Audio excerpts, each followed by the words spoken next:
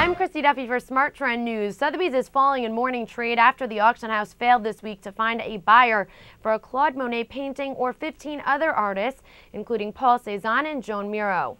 Monet's 1881 work had been expected to fetch at least 4 million pounds, but instead found no takers at its London auction due to the continued economic doldrums. Sotheby's did, however, rake in 112.1 million pounds in one evening through its sale of impressionist and modern art.